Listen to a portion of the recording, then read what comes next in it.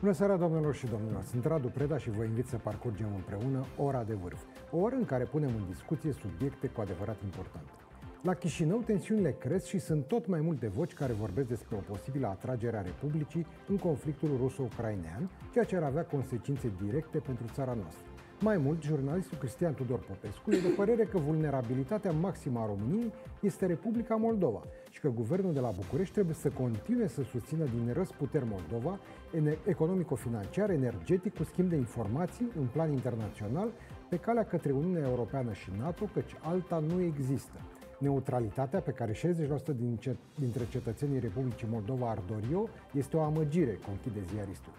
Vom încerca să vedem dacă aceste temeri sunt sau nu justificate împreună cu sociologul Mirel Palada și jurnalistul Mirel Curea de la evenimentul zilei, cărora le mulțumesc pentru prezență și le spun bună seara. Bună seara, bine v-am găsit.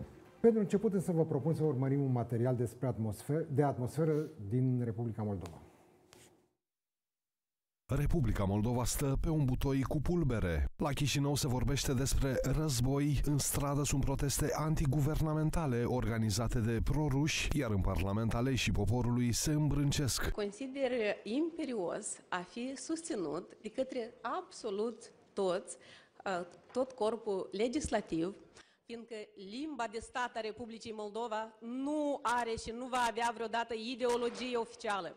Limba oficială a Republicii Moldova este limba română. În Parlamentul de la Chișinău a izbucnit un scandal cu îmbrâncel din cauza limbii române. Inițiativa deputaților Partidului de Guvernământ PAS pentru înlocuirea sintagmei limba moldovenească cu sintagma limba română în toate legile din țara vecină, inclusiv în Constituție, a produs supărare mare în rândul unor deputați care au protestat cu postere la tribuna legislativului. În ciuda scandalului, proiectul de lege a fost votat în prima lectură. Astfel, în toată legislația Republicii Moldova, sintagma limba română va fi menționată în legislație ca limba oficială, limbă de stat și limbă maternă. Pe 2 martie 2023, Republica Moldova marchează 31 de ani de la declanșarea războiului de pe Nistru. Președintele Maia Sandu a depus flori la monumentul lui Ștefan cel Mare și Sfânt și s-a ținut un moment de reculegere în memoria eroilor căzuți în războiul pentru apărarea integrității și independenței țării vecine. Maia Sandu și-a arogat meritele opririi unui conflict în Moldova, spunând că nu a permis capetelor înfierbântate să transforme regiunea transnistreană într-un nou război. Nu am permis până acum capetelor înfierbântate să transforme regiunea transnistreană în scena unui nou conflict. Vom continua să depunem eforturi pentru a păstra pacea în țară. Autoritățile Republicii Moldova fac totul pentru a preveni și a nu admite tensionarea situației pe Nistru. Să respingem propaganda dușmănoasă care ascunde adevărul și întunecă mințile oamenilor. Să ne păstrăm capacitatea de a judeca și de a vedea lucrurile clar. Locuitorii din Chișinău, după ce au avut orașul blocat din cauza protestelor, au fost anunțați și de mai multe alerte cu bombe la unele instituții în ultimele două zile. Joi a fost înregistrată alertă cu bombă la sediul judecătoriei din Chișinău. Din fericire, toate alarmele au fost false. Însă la Chișinău se anunță noi proteste, unde se cere demisia guvernului, dar și a președintelui Maia Sandu. Aș vrea să începem discuția, chiar dacă un pic uh, colateral uh, contextului conflictual de acolo, cu chestiunea asta legată de limba moldovenească. E o revoluție, că e pentru prima oară când se și întâmplă, nu numai că s-a pus în discuție, a fost o inițiativă, dar înțeleg că s-a și votat. E un pas mare? E Sau- foarte posibil să fie un pas mare. După 30 de ani de când uh, Republica Moldova s-a desprins din, uh, cel puțin teoretic, din sfera de influență sovietică rusească, uh, trebuie să ne aducem aminte de felul în care la momentul respectiv, uh, când a căzut zidul Berlinului și s-a uh, prăbușit uh, Imperiul Sovietic uh, și fiecare din bucăți uh, și-a găsit uh, uh, un destin separat și țările din Asia Centrală și uh, țările Baltice și Ucraina și Belarusia și Republica Moldova, la vremea respectivă declarația de independență a Republicii Moldova spunea un lucru cât se poate de simplu, limba română este limba uh, Republicii Moldova. Pe urmă, lucrurile s-au schimbat un pic, a ieșit o mermeleală și în cele din urmă contestatarii acestei idei, idei de românism, au prevalat și au impus conceptul de limbă moldovenească. O limbă moldovenească ce este considerată de mulți, inclusiv de mine, că are aceeași autonomie ontologică, la fel ca și limba austrian, austriacă sau ca limba braziliană pentru că brazilienii vorbesc de fapt portugheză, nu braziliană, uh, iar austriecii vorbesc germană, nu austriacă. La fel și moldovenii, oricât s-ar strădui ei, vorbesc română. Și lucrul ăsta se vede de maniera cea mai simplă. În momentul în care președintele României se întâlnește cu președintele Republicii Moldova, indiferent de uh, coloratura ideologică a președintelui, uh, că e Maia Sandu pro-occidentală sau că e ăla dinainte care era pro-rus, vorbesc fără traducător. Înseamnă că nu este nicio diferență Um, semnificativă între limba română și așa zisa limbă moldovenească, la fel cum atunci când noi ne să vorbim cu cineva din Cluj sau din Maramureș sau din Moldova, deși există niște elemente specifice de dialect, nu avem nevoie de traducător să vorbim cu cineva nu, de la Iași. Nu dialect, sunt regionalisme. Am zis, dialect, am da. zis, da, da. La fel cum un austriac atunci când se vede cu cineva din Berlin, vorbesc aceeași limbă. La fel cum cineva din Lisabona, când se vede cu cineva din Sao Paulo, deși accentul e un pic diferit și îți dai seama că ăla e din Brazilia, că vorbește un pic mai da, închis. Engleză cu americani. E, sau engleza cu americană, da. Americ, nu există limba americană, există limba engleză. Bine, ei nici măcar nu susțin lucrul ăsta. Da. E, da. E, iar, iar acest concept... American English versus British English, Aia sunt tot niște engleză. răutăcisme, da, spuse... Cine, cine Dumnezeu spunea... Uh, și nu în documente oficiale, adică. Și nu în documente, nu în documente oficiale. Dar ăsta este un joc, uh, un joc de putere, un joc uh, ce definește apartenența la o anumită sferă de influență. Iar cei care se chinuie să uh, demonstreze, să propună existența unei limbi moldovenești, de fapt, folosesc această afirmație drept instrument pentru a spune Republica Moldova trebuie să fie mai degrabă spre răsărit, spre Rusia, pentru că asta este teza rușilor de la 1920 toamna târziu, decât spre Occident și spre Um, uh, România, iar adevăratul dușman este, este România, zic ei, nu Rusia. Găsim chestia asta și în scrierile lui Ilf și Petrov, dacă ne uităm uh-huh. în anii 30, când acolo se vorbea despre nasoii de români care fac rele uh, dragilor de moldoveni. Și asta era teza oficială a rușilor, a sovieticilor din vremea respectivă. Nu e nimic nou sub soare. Aia care au ieșit cu afișele să facă scandal fac parte din această Um, tabără uh, prorusească din Republica Moldova, care e o tabără semnificativă și mai ales în urban. Uh, în Republica Moldova e o chestie interesantă. Uh, zona urbană, cu cât e urbanul mai mare, cu atâta este mai pro-sovietic, mai filorus, iar rădăcinile de românitate sunt îndeosebi în zona rurală, de unde și o tensiune suplimentară. Vorbeam chiar la această emisiune, adevărat, cu alți invitați, dar nu mai departe de o lună în urmă, că Maia Sandu, în ciuda profilului, evident, pro-occidental uh, și întors cu spatele, să spunem, către, către Rusia, nu pronunțase niciodată uh, tranșant, uh, nu avusese declarații pro-unioniste sau pro-românești. Și era un fapt, mă rog, nu că ar fi fost obligatoriu, dar nu se putea găsi niciun citat.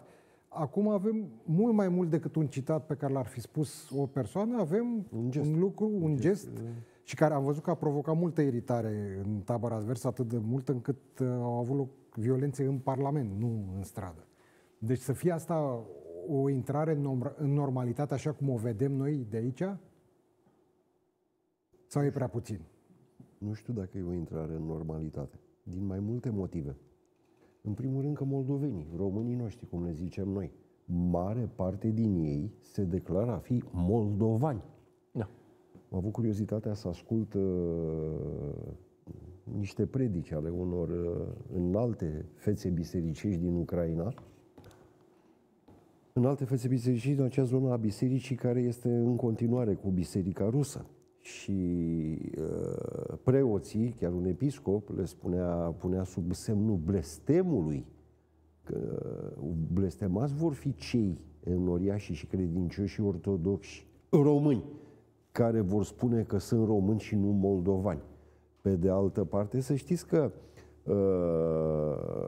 printre românii din Republica Moldova, eu le spun români, nu le spun moldoveni, mă rog, nu cred că impresionează chestia asta, uh, Să știți că n-au ieșit în stradă când atunci sub președintele uh, Voronin a apărut dicționarul, nu știu dacă știți că există așa ceva. Păi, Dacă sunt două limbi, trebuie să Uh, existe și Dicționarul român-moldovenesc și moldovenesc-român, pe care dacă îl citești, mori de râs.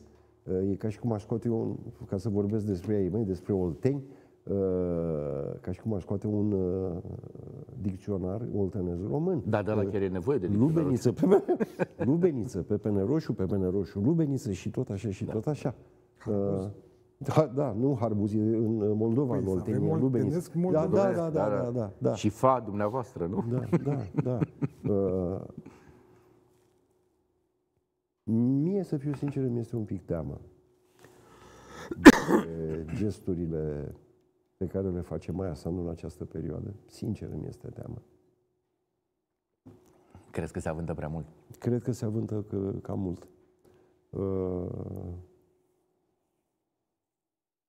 Pe de o parte. Pe de altă parte, ea a venit la conducerea Ucrainei în baza unor promisiuni pe care le-a făcut, că a câștigat alegerile în baza unor promisiuni. Printre care nu era și unirea promis- cu România nu, sau da, lucruri de promisiuni genul ăsta. Economice. Promisiuni economice. Că până la idealuri, inclusiv până la idealuri naționale, inclusiv până acolo, oamenii trebuie să pună o mămăligă pe masă și o, o, măcar o mămăligă și o bucățică de brânză și o ceapă copiilor. Uh, Sunt uh, într-o sărăcie lucie frații noștri moldoveni. Uh, Acum, m-am uitat și eu cu foarte mare atenție la imaginile alea uh, cu cei care au ieșit în stradă să demonstreze. N-au figuri de diversioniști caghebiști.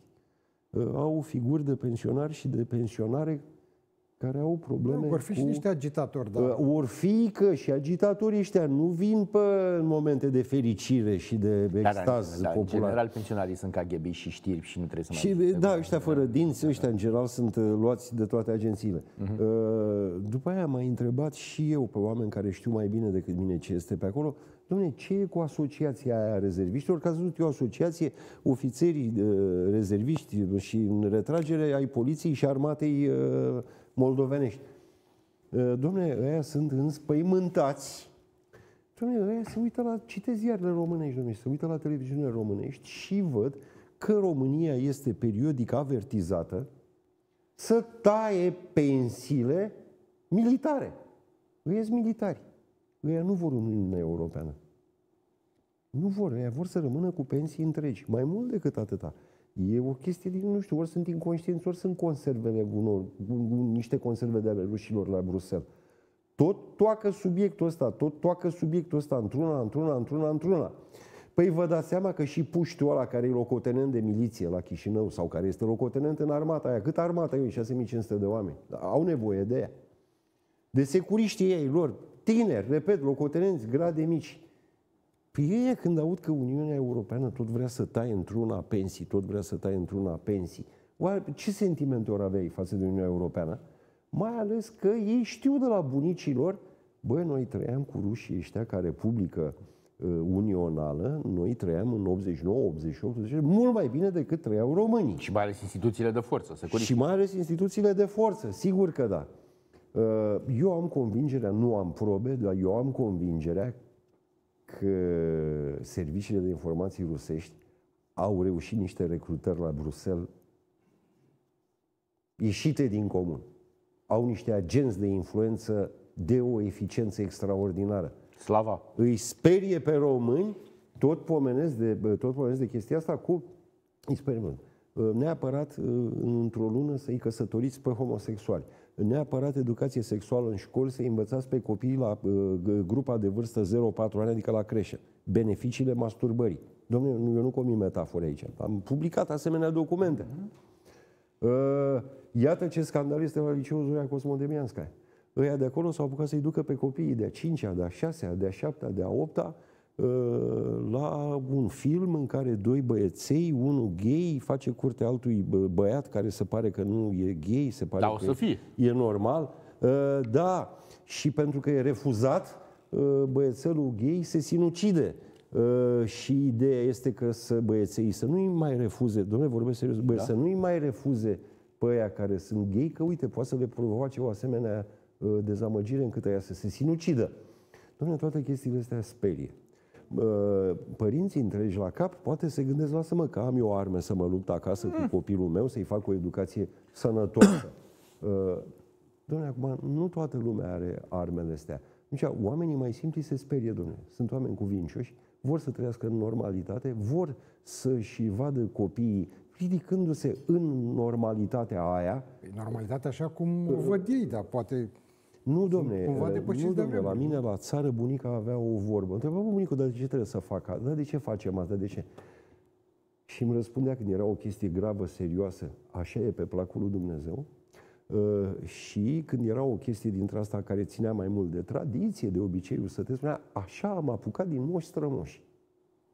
Dar, domne, astea sunt niște repere, Radu. Ești un tradiționalist, Astea sunt- caghebist, primitiv, Nu, medieval. caghebist nu sunt, să ia dracu pe nenorociții ăștia de ruși care ne-au însângerat Scuze, istoria. putinist, putinist. am. Putinist, da, care ne-au însângerat istoria și și-au bătut joc de noi din toate pozițiile. Dar sunt un pupător de moaște conservator și tradiționalist. Oamenii au nevoie de niște repere. Păi unde să găsească reperele astea? În uh, normativele uh, Mirel, Bruselului, Mirel, tu trebuie să în, înțelegi la că- multinaționale, unde? În, în mintea deontologilor, dacă ești tradiționalist și conservator, ești inevitabil putinist și caghebist. Nu Eu de-aia- sunt, îmi pare eu de-aia foarte te rău, tachinez în mod Știe eu, față. dragule, Lumea știu, trebuie- băi, dar lumea mi-ai trebuie să înțeleagă că e o comandat și un glumă. tricou. Bineînțeles, ți-am făcut tricou, am uitat. Da. Ah. Doamne, oamenii au nevoie de niște repere. Au nevoie să se regăsească. avem un partid care a fost înființat. Da, Pe cel- repere. reper. reper, da, reper, da. Și ca să nu, ca să nu o lungesc, eu nu cred că Maia Sandu va avea uh, izbândă până când nu va rezolva niște chestiuni dintre astea economice. Uh, ok, a sprijinit-o, a sprijinit-o, ea a venit cu un program dintre ăsta, dar uh, Ea încearcă acum să un călărească valul uh, istoriei. Valul exact, asta. Da, Da, da. Bă, da, în primul rând, ea trebuie să... Ăia care au ajutat-o să ajungă președinte, Dumnezeu, ea trebuie să ajute Păi, Calul ăla are dovede Economic. jurate ca să Păi zboare. sigur că da. Ucraina trebuie ajutată economic, nu cu vrăjel dintre astea. Eu nu zic, e foarte bine și cu limba. Dar, uh, păi frate, oamenii ăia trebuie să mănânce. Băi, au, sa- au uh, salarii, 30 de dolari. Dar ești, social, Chestii ești chiar dintre ești astea. caghebist social-democrat. Păi, Mirel, zice, și mă, puțin, ce am mai Mirel, zis? în mod, Cum să ajuți niște în- oameni? În mod poate super, superficial, percepția era că deși noi suntem alături de ei și suntem practic singura lor șansă să scape de sub dominația rusească și să îndreaptă așa, Cum? ei se țineau cam bățoși, cam asta era percepția. Așa este. Păi, Ei, e o ori ăsta realitate. este un gest menit să arate contrariul. Păi un gest... Chit că nu este uh, acceptat la nivelul Păi, întregii despre populații. asta este vorba. Da, dar gesturile Are le fac, rezonanță uh, în cei care populație? conduc. Păi nu contează. După ce se face, rezonanța vine. D- uh, Dragule, eu nu cred că va funcționa până nu rezolv problemele economice ale oamenilor. Dom'le, puteau să se chinuie toate serviciile de informații să-i scoată pe români în stradă în decembrie 89. Dacă nu ne ținea tembelul ăla de Ceaușescu în frig, cu uh, creve- zahăr, cu făină cre- și mai, și și cu mai pe creveți cartelă. vietnamezi. Ce spui? Cu creveți vietnamezi. Și cu creveți vietnamezi, exact, și Erau cu, uh, și cu, cu alimentări în care nu, uh, magazine alimentare în care nu găseai, bă, ce ți aminte decât muștar. Uh, Doamne, nu ieșea nimeni în nicio stradă și atunci probabil că s-ar fi uh, făcut trecerea la frecția asta la, la care s-a trecut, fără vărsare de sânge, pe model cehoslovac, pe model bulgăresc, unguresc. Bine, noi acum nu o să fim ipocriți și ipocriți să spunem că noi suntem preocupați de soarta Moldovei așa, pentru că sunt ei frații noștri peste... Pe noi ne arde în primul rând pentru că sunt acolo lângă noi și că sunt, toți sunt voci, printre care și al lui Cristian Tudor Popescu, pe care l-am citat, nu Lasă pentru că ar fi spus mă ceva în nou, pace cu ci Popescu. pentru că a spus-o mai articulat. Deci, ce se întâmplă acolo, pe noi ne poate afecta direct. Ne poate afecta direct. Bun, haide să punem și scenariul extrem. Nu ăla că începe un război, că eu nu cred că are cine să înceapă un război acolo, că n-au cu rușii să împiedică în județele patru din Ucraina deocamdată. Dar uh, haide să punem problema asta, scenariul unionist. Se unește, nu știu prin ce formulă, uh, bă, România se unește cu uh, Moldova.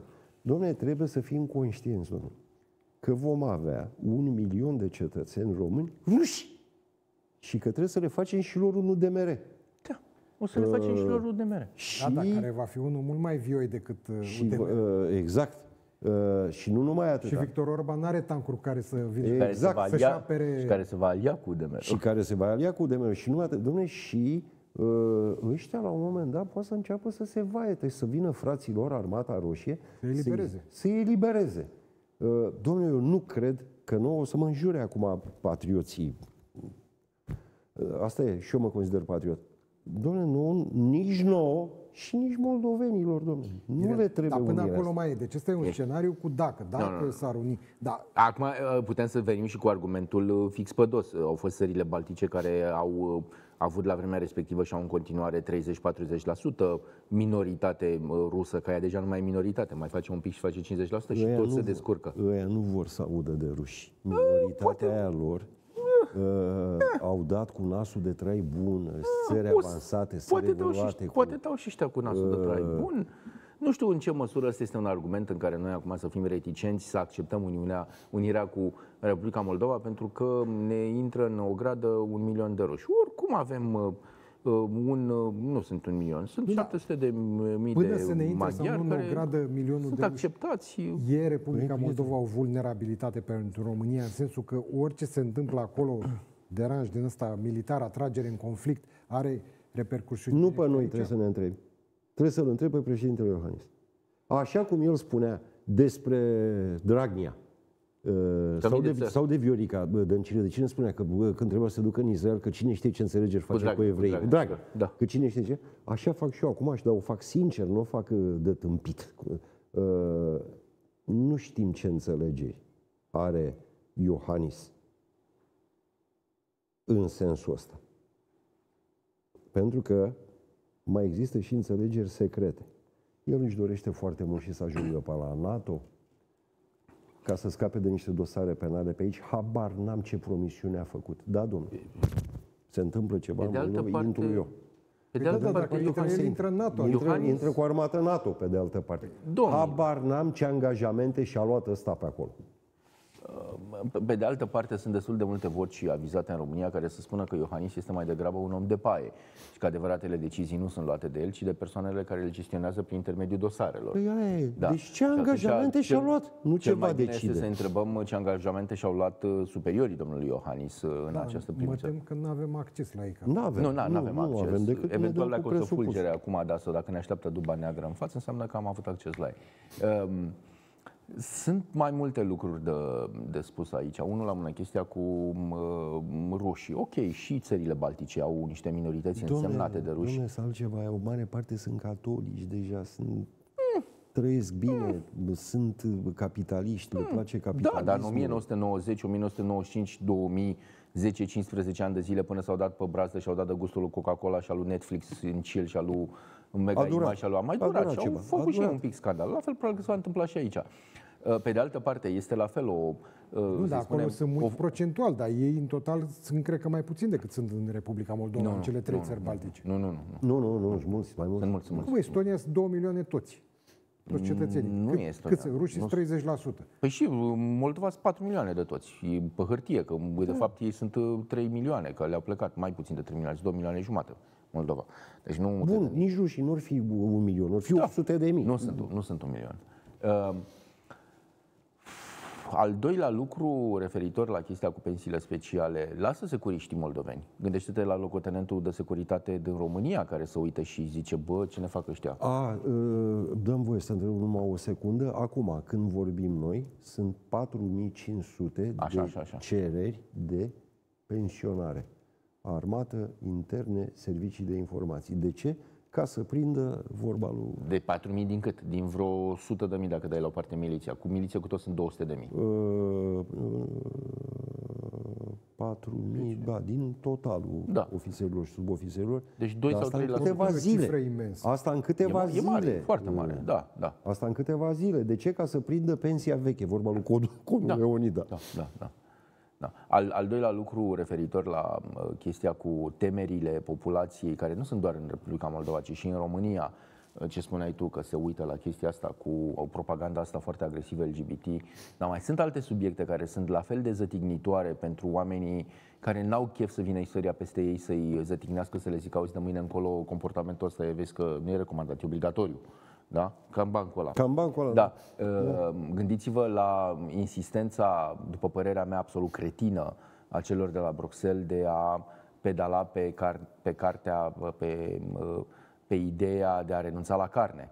uh, carnea roșie face rău, uh, trebuie în Danemarca, de exemplu, acum se discută foarte Acolo e de porc, da? serios, După aia da, roșie. și, păi nu, că și aia de porc tot roșie. Nu e este. roșie. Nu e roșie? Nu, nu. Eu știu Nu, că nu, și nu, porc. aia, bă, Bun, atunci vita și porcul, ca să nu mai Vi- încurcăm. Vita și vânatul. Și rața. Și, și vânatul Și și, rața. E, da. Sunteți foarte tehnici la ora asta. care Deci ne în, pricepem. în Danemarca uh, păia i-a luat de cap și vă, deși au un- unul din numerele cele mai mari de efective de, de porci și, și fermele cele mai mari din toată Europa, vor să renunțe la consumul de carne. Tare sunt curios uh, cum va reacționa danezul obișnuit, nu danezul hiperideologizat, feliz cu gleznuțele la vedere, ci danezul obișnuit când vine uh, Maica Stareță, Ursula von der Leyen sau cum Dumnezeu o cheamă, sau Maica Stareța lor de acolo, de la uh, Republica Virtuoasă Danemarca, să le spună, bă, gata, s-a terminat, de mâine încolo nu mai post și rugăciune, nu mai mâncăm, nu mai bem, nu mai facem nimic. Nu știu, pentru că Danemarca e un caz special, că azi am văzut știrea, au văzut mai de mult, dar azi chiar s-a întâmplat. Aia cu că le- ziua de- Le-au scos uh, o zi de asta Da. de sărbătoare, o sărbătoare religioasă unde aveau zi liberă și e o deranj mare în Da. toată Danemarca.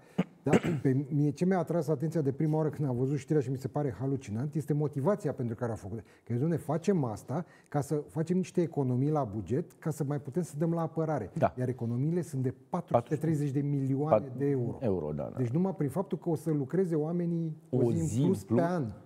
Da, ca să atingă pragul, să atingă pragul de 2% pe care și l-au asumat uh, ca și cheltuială de, uh, Deci de așa buget la scumpe apărare. zilele libere, așa ar fi și la noi. Că noi Păi, avem multe. Unul pe, nu, 365, că dai la o parte. Avem printre cele mai puține. Da, din, da, noi avem uh, printre cele mai puține, dar noi din suntem, Uniunea uh, Europeană. Ei Deci- aveau 11, acum au rămas cu 10. Uh, noi uh, avem un discurs de ăsta foarte uh, cinic și foarte câinos la adresa oamenilor. De exemplu, unul din uh, stereotipurile cele mai des vehiculate în România este că suntem o țară care ne batem joc pentru că oferim o asistență socială inutilă și vezi, Doamne, toți prostovanii Vai, ce pământului prostie uh, care primesc bani și toți bețivii și toți nenorociții care n-ar trebui să primească bani de la stat. De fapt, adevărul este că m, procentual noi avem de departe țara cu procentul cel mai mic Da, de asistență protecție socială socială Adică din cel toată mai mic Europa. sprijin social. Da, din toată Europa. Deci noi suntem țara cea mai câinească care investește, care uh, ia o felie, cea mai mică felie din, uh, din produsul intern brut pentru a da celor în nevoie, și mai avem și tupeul fascist să venim să spunem că le dăm prea mult. În condițiile în care um, toate celelalte țări, um, Germania, Franța, Italia, Danemarca, Spania, Portugalia și câți mai bogate și câți mai săraci oferă o asistență socială mai, uh, um, mai decentă. Uh, Asta îi și avem- dovedește de faptul că o grămadă de beneficiari din ăștia de aici, de la noi, s-au orientat către țările nordice unde Nu, nu, nu, asta, asta dovedește faptul că acei vocali, deontologii vocali care uh, propovăduie tipul acesta de furie și de o travă sunt uh, uh, foarte lipsiți de umanitate, de o umanitate Da, elementară. mă, în primul rând să întâlni până la umanitate. Sunt lipsiți de minimă cultură. Da, da. Păi tu- tu dai, le dai niște informații care lor nu le-au trecut până cap. Nu, nici îi când stai erau, liniștit că ele știu, Când le erau știu. luați în venă, nu s-au gândit la chestia. Uh, un, alt, un alt lucru pe care trebuie să-l discutăm dincolo de chestia cu carnea, deci eu nu înțeleg cum o să reacționeze Europa în momentul în care o să vină Sfânta Maică Stareță să le spune gata, nu mai mâncați carne. Alt lucru care se întâmplă în momentul de față și deja stârnește niște reacții di- puternice, renunțarea până în 2035 la motoarele cu combustie internă. Da, nu, italienii și nemții Ei, au anunțat venit deja că- italienii și da. nemții să zică, să vă Pas. arătăm mașinuța, îmi pare rău că sunt la televiziune, că um, ar trebui, dacă eram pe internet, vă arătam și gestul. Este un gest din uh, Gal- The Guardians of the Galaxy. Italia și Germania, care sunt niște producători semnificativi de, de mașini, au venit să spună, sunteți cu capul, um, boicotăm, uh, nu suntem de acord cu chestia asta, uh, ne opunem, avem dreptul la veto, pentru că e- pe lângă că este o măsură uh, tembelă în sine și să zicem că ar fi bună în principiu. Ea oricum nu poate să fie pusă în aplicare, pentru că dacă schimbi tot parcul auto, care în momentul de față este pe bază de uh, hidrocarburi fosile, și îl treci pe curent electric, uh, nu ai rețea în niciuna din țări. Și îți trebuie să crești rețeaua, au făcut, s-au făcut calcule elementare. Să o elementare. reproiectezi. So, deci Că nu îți e- crapă rețeaua, crapă și o prăjești, rețeaua. și o ai nevoie se arde. de trei ori mai multă Da. rețea decât ai în momentul de față. Nici în 10 ani de zile nu ești în stare să tragi prize și sârme și curent și stâlp de înaltă tensiune ca să asiguri așa ceva. Iar ăștia vin acum să spună cu, cu uh, fața cea mai uh, curată și mai senină până în 2035 nu mai facem motoare cu combustie internă. Adică ei de fapt vor pur și simplu să oprească, să blocheze tot ce se întâmplă în Europa dintr-un considerent eminamente ideologic. Așa făceau fanaticii pe vremuri, care ziceau... Nu, e mai mult decât atât, Amiral. Eu tu zici sunt, că con- sunt... eu uh, sunt da, absolut tu ai convins. ipoteza că Eu sunt sunt niște absolut cozi de topor. Dar convins. gândește-te că dincolo de acest lucru care este absolut... Dărâm Deci, mă, că industrii. ne predăm deținătorilor de resurse care știu să facă baterii, care pot să facă Nu, baterii. asta, nu, nu, și asta este, să zicem că e așa cum zici tu, că România oricum este o țară totalmente dependentă. Atunci să fie Păi nu, Dumnezeu. dar toată Europa e dependentă. Nu, Nu, în păi- Europa nu cresc Păi nu asta zic. minerale Dacă, pentru dacă baterii. România în sine nu este în stare să-și producă nici energia, nici mâncarea, nici nimic și importăm de colo-colo și suntem totalmente dependenți, păi atunci să fie și Germania. Deci asta nu mă deranjează. Însă pro, adevărata, problemă, adevărata problemă este că uh, Europa reprezintă doar maxim 20% din populația lumii. 15% dacă nu mă înșel. Uh, Ai auzit de India și de China și de Africa? Uh, Crezi că India și China și Africa se vor lăsa cumva vrăjite de Maica Stareț Europa să vină să le spună băi, ia renunțați gata la bunăstare și la motoare și la... uh, Când uh, ei abia sunt în Când ei creștere. de- de-abia au dat cu Uh, nasul ei un pic de-abia de sunt, bunăstare, da. ea de-abia așteaptă. Deci ea de 100 de ani vor și ei să nu mai aibă război și să nu mai moară de foamete și să aibă și ei o căsuță și o, uh, și o făcuță Și să mănânce o friptură. mașină și să mănânce o friptură. Și vine acum Greta Trotineta și Sfânta Stareță Ursula să le spună, bă, nu mai aveți voie nici carne, nici mașină, nici nimic. Ia, hai, poți și rugăciune și fânfest. Ai auzit de fânfest de la, uh, cum îi zice, de la Roșia Montană? Da? Știi care era soluția, alternativa oferită de tembelii ecologiști uh, uh, să renunțe minerii la meseria lor și să nu mai uh, facă, șosete de lână. să facă șosete de lână, Da, să culegă afine și să facă fânfest. Îți dai seama câți bani se, se câștigă din chestia asta, da? Ei, și atunci nu, nu, vine... în festul făceau ei. Nu A, localnicii. luau ei banii, da, da, da. da, da Spune, adică ne eu, tăvălim cam, în fân. eu ca, mai, uh, ca mai bătrân, uh, eu am apucat să și văd niște chestii și să și capăt explicația când a apărut memorialistica post-90. Dom'le, aceleași lucruri se întâmplau în anii 60, 70, 80 Greenpeace. cu organizația Greenpeace. Exact. Bravo. Domne, și și-a publicat generalul Semiceasnui memoriile. În care în memoriile povestește, domne, de unde vine aia cu idioții utili. Îi aparține lui Leonid Brejnev, care discuta planul de măsuri de contracarare a americanilor, a dezvoltării, a Dar cum să- baze, cum să lupte baze cu militare, dușmanul. cum să-i contracoareze, cum să lupte cu dușmanul și spunea și nu în ultimul rând, idioții ăștia utili de la Greenpeace. Dar au fost doar o parte din idioți utili, alții au fost uh, uh, pe statul de Alții, plată. alții au fost Au fost chiar pe statul de cadre. plată, da, Sigur da, că da, au fost chiar cadre. Pentru că la da. vremea respectivă, da. distinși ecologiști în anii 70-80 făceau spume la gură cu um, um, centralele nucleare, Da, cu sigur că da. portavioanele nucleare, cu înarmarea, luptăm pentru pace, dar ei criticau în mod constant doar o singură parte. Deci americanii, englezii, francezii, nemții, toți uh, japonezii trebuiau să se dezarmeze și să renunțe la uh, energia nucleară, dar niciodată Greenpeace n-a zis ceva de ruși. Absolut. Niciodată. Absolut. Păi da, nu ne-am văzut, nu ne-am lămurit aici. Au blocat uh, construcția de microhidrocentrale. Uh, au blocat uh, Roșia Montană. Au blocat exploatarea gazelor de uh, Doamne, ș- șist. Parcă te-ai uitat la emisiunea mea, pe bune. Nu, pe, da, nu, nu m-am uitat, dar și dacă m-am și uitat, Pod, te podcastul, citam. podcastul de la evenimentul Da, zilei, despre asta a exact fost, da. despre asta Da, vorbesc. da. astăzi. Treceți pe la caserie, domnul Pana. Da, uh, exact același lucru îl fac și acum. Sigur, noi ăștia care mai știm, spunem ăștia puști, ăștia săraci de tefeliști, care trebuie să facă și ei aia, blenoragia uh, de adolescență, de da. bolile copilăriei. Naivitatea de prostie. Exact, da. Uh, Cum să nu mai... Ei dau cu petul în uh, bordură și demonstrează Că n-am mai văzut de mult cu petul. animați... uh, Ți-e dor de băieții animați cu Petru și da. Petricele, Uh, da. Acum au început iarăși, au început iarăși cu o chestie foarte interesantă. Nu, domne, cu tremurile astea uh, din uh, Oltenia, Da. care au fost întotdeauna, nu nimic Da. nou, uh, sunt din cauza că Gaze. mai sunt niște exploatări dintre astea de Și trebuie închise și ale. gaze de șist, trebuie Da, închise și știu, ale. și Da. ale, da. Adevărul e că oltenii... Bă, ăștia, după părerea mea, dar eu sunt mai dictator, așa, mai uh, conservator, mai, părerea mea, ăștia ar trebui luați de parchet și anchetați. Da. Îi găsești că sunt agățați de servicii străine și băgați la pușcărie, tata. Total- că total de legislație există. Nu, problema e că legislația există, dar nu se aplică. Nu se aplică, Nu se sigur aplică, că da. Pentru sigur că astea că da. sunt exemple standard. A, sau a fost, de- a, a făcut chestiile astea doar de prost, ok, e în regulă, nu trebuie să trimiți la galere. Ferească Îl băgăm nu- la reeducare. Nu e avertizat, nu avertizat ferm, acum ești în cunoștință de cauză, atenție de acum încolo. Dar ăia care sunt cu lovele de la Moscova, Bă, tată, fac și ăștia aceeași greșeală pe care uh, a făcut-o și Ceaușescu. Îi prindea că GRU, îi prindea că Da. KGB-știi, îi Și prindea trimitea că... să scrie și îi făcea jurnale. directori. Da. Sau îi trimitea să scrie jurnale Și la bă, îi trimitea să scrie jurnale la... Teișan. Te- Da, da. Hai că am pornit de la Republica Moldova și am ajuns la... Legate. Sunt toate legate. Se leagă legate. totul cu totul. Da, erau, când eram noi foarte tineri, era o emisiune la televizor, se numea Conexiuni, Da. al lui Carl Sagan și tot așa, pornea dintr-un loc și ajungea Mamă, ce totuși cu savant altceva. era la sărac, da. Bine, deci oricum înțeleg ca să f- punem așa un... Să revenim. Ah, fazi și, și mai, concluzii. stai că mai, mai am ceva, o chestie cu LGBT-ul, că spuneam de chestia cu copiii și cu filmul. Mă uitam pe niște statistici uh, în zilele astea în Statele Unite, vestitele State Unite, de la care tu luăm toți lumină. Și se făcea o analiză cât se declară că sunt uh, uh, homosexuali și LGBT și Rainbow și ce Dumnezeu mai sunt ei incert, uh, pe cohorte de vârstă. Și ăia vechi erau 1%, pe urmă ăia mai tineri erau 5%, media fiind de cam 7%. În rândul tinerilor, sub 25%, 20% se declară că sunt homosexuali. Deci, propaganda funcționează al naibii de bine.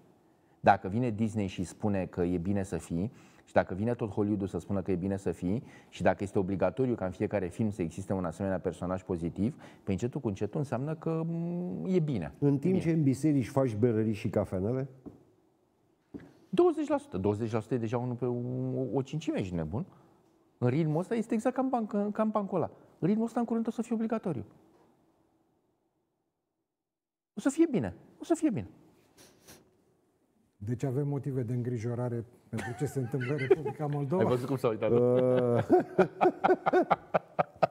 Dragule, da, e îngrijorător ce se întâmplă acolo. Întrebarea ta a fost dacă Maia Sandu a făcut bine sau a făcut Nu, rău. a fost prima întrebare. N-am răspuns. Nu, la asta n-am răspuns. Iar ce se întâmplă în Republica Moldova, și dacă nu intră, și dacă nu speculează rușii situația de acolo, deci și dacă rușii nu au nicio treabă, nicio intenție, nu speculează nimic, da, domnule, situația din Republica Moldova e gravă. E o țară cu un nivel economic similar cu o, o țară africană. Și acum 5 ani de zile, era și mai rău. Și acum 10 Și, ani de și zile, da. așa e. Nu, e, uh, Așa e. uh, Eu am o, o opinie un pic diferită. Eu zic așa. În momentul de față, acest război tinde să reașeze uh, semnificativ lucrurile în rândul celor două tabere. Este un moment de cotitură din acele momente istorice în care se pot întâmpla lucruri.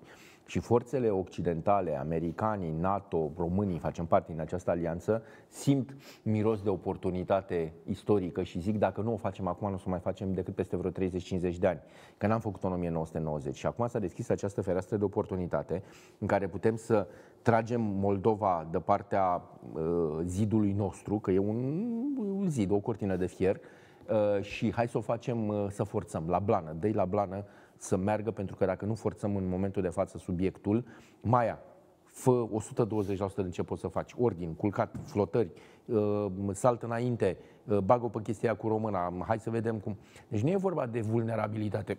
Republica Moldova a fost întotdeauna o vulnerabilitate, pentru că rușii sunt o vulnerabilitate, că sunt dincolo de Republica Moldova. Mă rog, dincolo e Ucraina, da? Și ucrainienii sunt tot niște ruși. Deci nu asta este problema. Problema este că în momentul de față instituțiile de, de forță, securiștii României, cei care conduc țara, gândesc în termen de oportunitate istorică, nu de vulnerabilitate. Și vor să rămână în cărțile de istorie ca fiind acea generație de securiști care au realizat unirea. Eu nu cred că Ceea ce depinde, nu- ceea eu ce nu nu cred că lucru rău. depinde nimic de ei, Mirel. Nu depinde nimic de ei, tată. Pentru că americanii îi lasă. Stai, stai, stai un pic. Băi, pentru că dragule, americanii Dumnezeu. vor să împingă frontul în marginea Rusiei. Asta e altceva. Păi despre asta este Păi, vorba. Și asta e atunci dacă altceva. Ucraina este băgată sub plapuma occidentală și se mută frontul pe granița cu Rusia pe Nipru, păi Nistru e mai încoace. Și atunci securiștii noștri se duc la securiștii americani și zic, Gugu, dacă o faceți voi pe aia N-au mare, ei idei. nu facem și noi pe Fii asta mică. serios, mă, n-au ei idei, mă. Pick me, pick me. Ei Pic n-au mic, pic mic, idei da. de când uh, termină academiile de informații și după care pac imediat bursă Marshall, bursă de aia, bursă de altă. Vin împachetați și uh, recrutați de nu respir. Mai avem doar 8 minute și vreau să mai discutăm un subiect. Dar mai care, lungește-o, mă, și tu. care a produs uh, Nu, că am aikido, mă duc la destulă emoție. în ultima- Am așteptat, uh, spun cu sinceritate, am așteptat să se termine funeraliile, fie ele și naționale, și vreau să discutăm un pic despre patriarhul uh, tefeliștilor care nu mai este printre noi. și aș vrea să abordăm discuția din următoarea perspectivă. După momentul demisiei sau nu, sau căderii pur și simplu a guvernului Roman din 1991 și până acum 3 sau 4 ani, așa, când a reapărut în spațiu public foarte puternic și foarte pregnant Mihai Șora, ce a făcut Mihai Șora în perioada asta? Și cum, prin ce minune a fost el înviat, între, între ghilimele, când a corespuns unei uh, Nevoi. unui narativ, ca să spunem Une, așa. unei nevoi obiective istoric determinate. Și instituționale. Și instituționale, da. Suntem răi. Spune tu că mă bufnește râsul. Dragule, eu cred că era nevoie de un nou Steinhard, un nou Țuțea, un nou Noica, un nou... Un, un nou... Era nevoie de un... Atât doar că uh, ăia știau carte. Bun. S-au gândit la domnul profesor Dănăilă, da, la doctor. L-au luat, au încercat să facă, l-au pozat, L-au plimbat în, cu metrou. l-au pozat în metrou, cu plasa în mână. Nu știu, n-a mers că ăla e om serios, până interesează medicina. Domnule, l-au găsit pe Șora. Uh, bine privit în scriitorime până în 89. Bine privit. El din ce să trăiască? Până să se pensioneze, că el s-a pensionat din uh, instituțiile statului, nu Foarte mult timp în urmă. uh, cu foarte mult, timp în urmă. Și da? bine privit pentru că era cenzor și dacă nu te, nu-l și priveai nu bine, priveai bine, atunci ți-o dădea la da. rădăcină. El, Da. el mai scria, se spune despre el, se De- spune despre el că ar fi filozof. Nu este filozof, filozof este atunci când întemeiezi un curent filozofic. Nu e filozof. Bun. Gânditor. Uh, gând, păi așa gânditor toți suntem când cădem pe gânduri. Uh, da, eseist. Da, în fine. Bun. Domnule, și l-au gândit, l-au ales prost, domnule. Eu cred că l-au ales la înghesuială, repede. Hai mă, nu-l găsim pe unul Me- bătrân. mediocru. Securiștii de multe ori au decizii De- mediocre. de- Exact. Domnule, și l-au găsit ăsta pătat, tată, nu pătat cum e dalmațianul, ci negru și pe spinare și pe burtă. Dar vezi bine că asta n-a contat absolut deloc. Că, Păi n-a Fiind cu contat atât chiar. de mulți ani în urmă, Uh, N-a contat amestecat. chiar și pentru, uh, pentru, uh, ăștia, TFL. pentru TFL. Care pentru trăiesc ăștia- într-un prezent continuu. Uh, Sigur că da. Uh, Domne, deci l-au găsit mai mișto decât atâta nu puteau să-l găsească. Da. Prima oară, când, când s-a însurat cu nevastă, sa nevasta evreică, i-a cerut voie lui Corneliu Zelea Codreanu. Că el era legionar pe vreme. Și Zelea A, deci Co- întâi a fost legionar. da. Și Corneliu Zelea Codreanu zice, dacă nu, dacă reușiți, dacă o, dacă o, o creștinezi, e tot în regulă, iau. Da. Bun. Domne, el din Franța, el n-a plecat, domne, să vină în România că era patriot. Nu, domne, a plecat pentru că De Gaulle a început să, să-i aresteze pe oamenii NKVD-ului. Rețeaua sovieticilor, rețeaua Kremlinului din Franța. El a venit repede, repede. Și a avut noroc că uh, de gol voia să-i belească și a căzut la pace cu Da, Stalin. da, da, da. și a da, zis, da, bă, nu da, ți da, belesc, da, dar ia-ți de aici. Da, ia-ți de aici. Și atunci chiar li s-a dat ordin, povestește și Walter Roman, cum Da, li s-au dat ordin și să fie cuminți și să nu facă nenorociri. Pentru că Franța i-a găzduit după ce au pierdut războiul republican din Spania. Da, În da, fine, da, da. Franța fiind un rezervor de e, comuniști. e o istorie minunată, e o istorie superbă, dar nu avem timp acum. Uh, domnule, a venit, uh, a venit în România. Domnule, a venit în România și după aia ne-a povestit aia, nepoțica, nevastă sa, că, la, a, da, că l-a condamnat Ana Paucăr la locul de muncă uh, în Ministerul de Externe. Adică Nu- nu la canal, nici la mun- Sighet. Nu, muncă forțată la externe. Tu îți dai seama cât de Doamne, dar îți dai seama cât dispreț, cât de, cât de tâmpiții consideră pe ăștia care au crezut așa ceva și cred în continuare. are care dreptate. Domnul cretin, da, da. sigur. Ana Paucăr, care avea o slăbiciune și pentru legionari, că i-a inv- i-a invitat să se înscrie în Partidul Comunist. Să, să, să se înroșească pe Să se roșească precum pătlăgica, exact, Exact, mai întâi verde, exact. după aia roșie. mă. Bun. Domnul el are o biografie similară cu biografia uh, tatălui lui Patapievici. Domnule, acolo lucrurile sunt și mai ale dracu. Tasul lui Patapievici a fost fantomă, ofițer fantomă al serviciilor uh, rusești. Da, și asta este o altă poveste. Bun. Uh, după care a venit cu niște absurdități. Tot nevasta, Nu, domnule, dar- că el era gaga. Dar zic că a, a lucrat la, uh, un, uh, la o instituție de stat unde era pe post de Direct. cenzor de presă. Ah, da. Nu contează ce O, a mai co- făcut pe vremea comuniștii. Ba, Eu întreb contează. ce a făcut el acum în democrație. Ați fost ținut la conservă până Nimic. când... uh, A fost ministrul învățământului și a zis, nu, eu mi-am dat demisia uh, după 13-15 iunie când am văzut ce atrocități s-au întâmplat și pe mă, și face mișto de mine din E potrivă. pădus. Din potrivă a venit și m-a rugat să-l păstrez în continuare dacă voi fi însărcinat cu... Nu să-l uh, cooptez și nou guvern. Uh, Domnule, eu nu-l învinovățesc pe el. Atâta vă rog să mai îmi dați voie să vă spun. Eu am, am avut o asemenea tragedie în familie, domnule. Niște unchi de-ai mei care s-au dat pe mâna unor nenorociți, unor nenorocite, au murit în grajdul animalelor. Acolo au murit. După ce toată viața muncise Fiind la bătrânețe, gospodări- da. la bătrânețe. Da. La bătrânețe. Uh, Eu cunosc bine de tot situațiile de genul ăsta și cum se ajunge. Bun. Dom'le, omul ăsta era ca orice om care ajunge la 100 de ani, dar și care ajunge, care ajunge la 80. Dom'le, era gaga, domnule. Dom'le, legea trebuie să-i protejeze, domnule. Așa cum legea trebuie să-i protejeze pe copii, aceeași lege trebuie să-i protejeze și pe oamenii bătrâni, domnule, care sunt la fel de copii. Am mai avut un caz care mie mi-a rupt sufletul, domnule. cazul Iurie Darie, domnule. Omul era, și știu, medical, un Alzheimer, formă finală, o, o demență senilă, gravă, un om admirabil, un om minunat, un actor carismatic. Și care nu mai știa de el. Ni la mai bătrânețe. ducem aminte cum ne-am încântat copilăria, cum desena și cum... Domne, de care și-a bătut joc nevastă sa, domne. Mai tânără. Și-a bătut joc nevastă. Dar era problema e că nevasta asta tânără a lui Șora și-a bătut joc nu pe persoană fizică, ci pe persoană instituțională. Este mai grav la nevasta lui Șora. Imediat ajung și la ea dacă îmi dați. Mai voie. avem fix 3 minute. Uh, Bă, tată, uh, îl băga pe Iurie Darie gol în pat și îl chema pe Fanejec să le facă poze, cum că ei tocmai săvârșiseră un act sexual, chestii, tot ca să apară, să fie în atenția lui. În fine, la Șora lucrurile sunt mult mai grave. Este vorba de furt de identitate. Parchetul ar trebui să se sesizeze.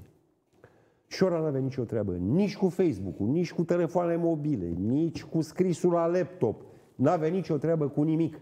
Îl lua, domne, doar că nu l-a pus pe o liță să-l firmeze. Deci astăzi un, un personaj foarte haios, uh, uh, Ovidiu Eftimie, care are un blog eftimie.net, a scris un articol fabulos, exact ce spui tu. Da? Și titlul lui este despre personajul imaginar Mihai Șora. O, despre ce mișto a găsit. Este Personajul genial, imaginar, căutați-l da. pe internet. Da, da. Eftimie Șora și Da, da, găsiți foarte da, ușor. da, da. Care spune exact chestia asta, felul în care a fost construit un personaj fabulos, dar care nu are nicio legătură cu N-a realitatea. postat niciodată nimic.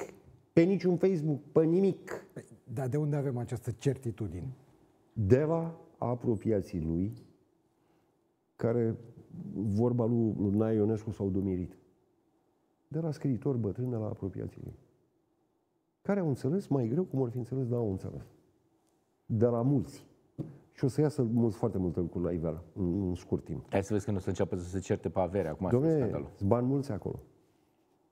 Avere de familie, Șora era dintr-o familie bună, preoți, boiernași. E Vorba Deci de- familie de preoți legionari, în KVD, da, da, cenzor, da. Dom'le, E vorba de politic. tablouri, e vorba de bijuterie, e vorba de, e vorba de uh, multe chestii. Deci e, e fabulos felul în care un personaj care a făcut parte din nomenclatura comunistă a ajuns să fie unul dintre reperele morale de cinste ale taberei care umblă cu anticomunismul în gură. Da. Asta este chestia cea mai fabuloasă. Deci este da. fix de 1984 Ministerul Adevărului care ia istoria și o rescrie conform cu nevoile prezentului. Și o descrie în mod Doamne, continuu, dar au dat continuu și face din comunicate, alb-negru. Au dat, a dat comunicate lui aia, bă, bă, veteranii din rezistența franceză da. care au o organizare, o organizație foarte puternică, au fost chiar enervați, au fost indignați. Nu, domnule, e un impostor. Nu a avut nicio treabă cu rezistența franceză. Ca de obicei am început subiectul mai interesant uh, prea târziu, dar poate vom reveni. Vă mulțumesc amândurora pentru participare, doamnelor și domnilor, vă mulțumesc pentru atenția care sper că ne-ați urmărit. La Metropola TV puteți vedea de la ora 8 160 de minute cu Maria Gasperianu. Noi ne revedem luni, începând cu ora 19. Până atunci, toate cele bune!